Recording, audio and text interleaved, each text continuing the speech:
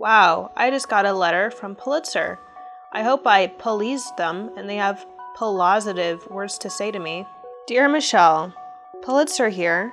After much consideration, we have chosen you as the best art speaking sort of critic, explainer, art person of them all. I am filled to the brim with joy. What an honor. What? Jerry?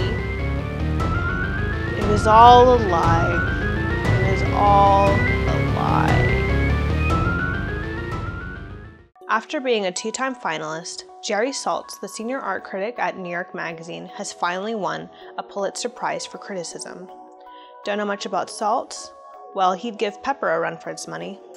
Artnet News has described him as perhaps one of the most famous art critics in America, one of the first art writers to embrace the power of social media and the everyman of the art world. This description is based on how he has a clear, concise writing style that can please both the insideriest insider of the art world and an amateur who has better things to do with their life than stare at paintings. On social media, he posts photos of everything from artists he admires or hates, to political satire or memes, to serene contemplative landscapes where he's taking a walk, or selfies at the doctor's office. Sure, it's not a foodie dog, but it's not bad.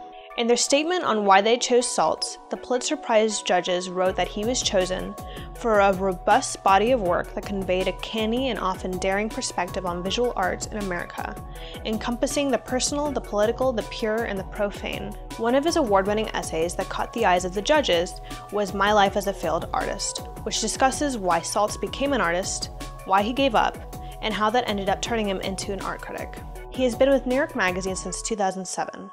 Before that, he was a critic at Village Voice for nearly a decade.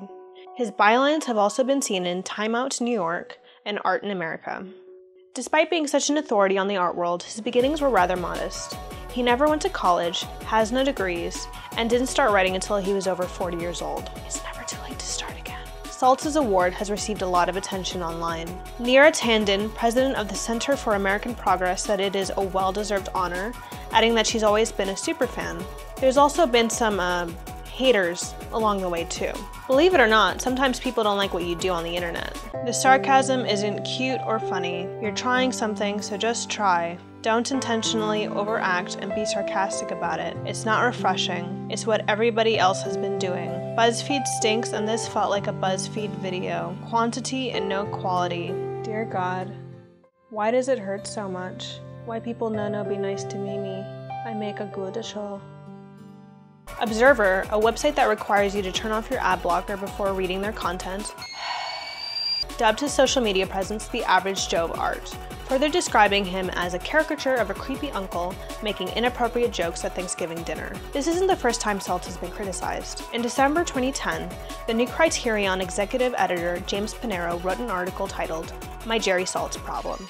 The problem being that he has allegedly degraded his print brand through his internet presence. Panero also whined about being unfriended along with 900 other people for not providing sufficient postings on his wall. Aww. In a further attack on Saltz, Panero also criticized Work of Art, The Next Great Artist, which was a reality game show on Bravo that Saltz was the judge on, and that Panero said resulted in trivial works.